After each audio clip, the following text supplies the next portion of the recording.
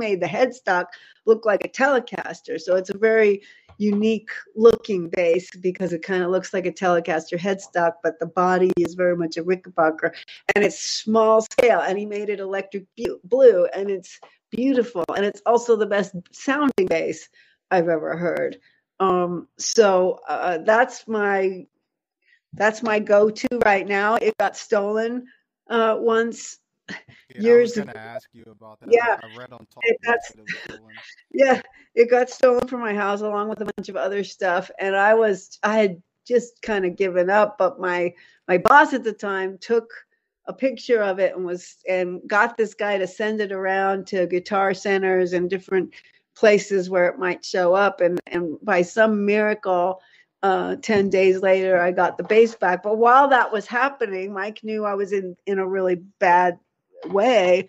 And so he had another one started. And so now i have a a blonde one that is built in a in the similar way a three quarter scale with the same look.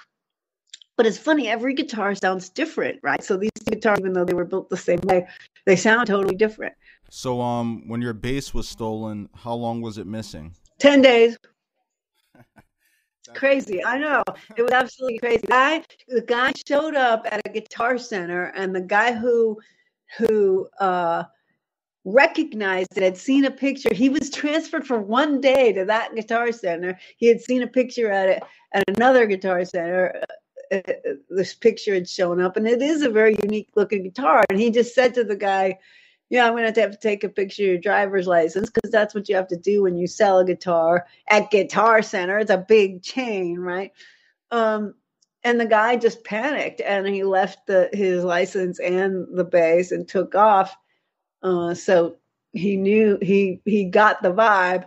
And I get a call from you know the Northridge police station, and I show I show up there, and uh, the guy walks out with the bass and and he looks at my face and he says you know usually i look for proof of ownership but it's just written all over your face.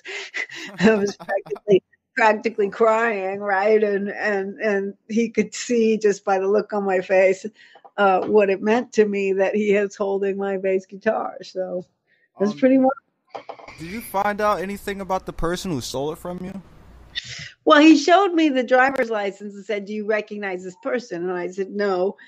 And that was kind of that. I mean, he said the most we could get him for, even if we got him, was possession of stolen property. We can't prove that he was in your house. You know, it's not like the TV shows. They, you know, get good fingerprints that they can then match to the guy or anything, you know. So, uh, so nothing really ever came about it. I always felt like I kind of knew what had happened because we had some some vendors in our house doing a repair job.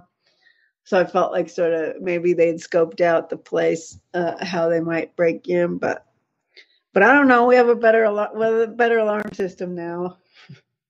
Um,